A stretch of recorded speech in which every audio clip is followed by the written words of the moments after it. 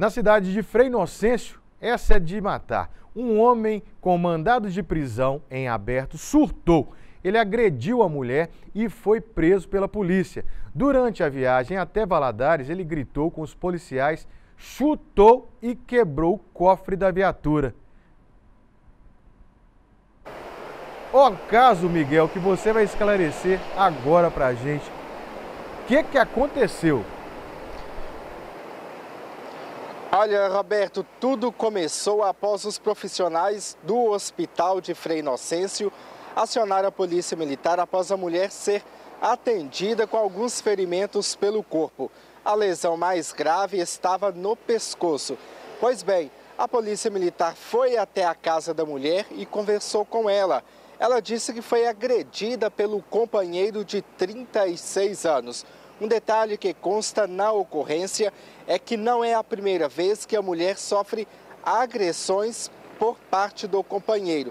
E outro detalhe, ela tem uma medida protetiva contra ele. Mas a mulher confessou ainda que saiu do hospital e voltou para casa porque os três filhos estavam na residência e ela temia pela vida deles. Pois bem, mesmo na presença da polícia militar, segundo a ocorrência, o homem ameaçava a mulher de morte.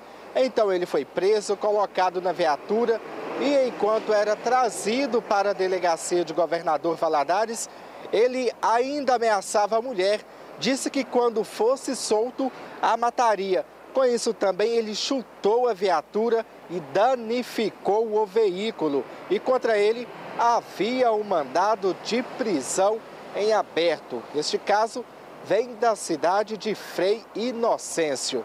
Roberto. É, Miguel, que coisa, hein? Que absurdo, viu? Aí três casos em um só, né? Três casos em um só. Depredação do patrimônio público, Maria da Penha e a, a, o mandado de, de prisão em aberto. Que coisa, viu? Nós temos uma sonora agora com um policial militar que acompanhou esse caso. Vamos ouvir. Nós fomos acionados pelo hospital da cidade. Teria da entrada lá uma, uma senhora bastante lesionada, o pescoço bastante machucado, teria sido enforcada pelo marido.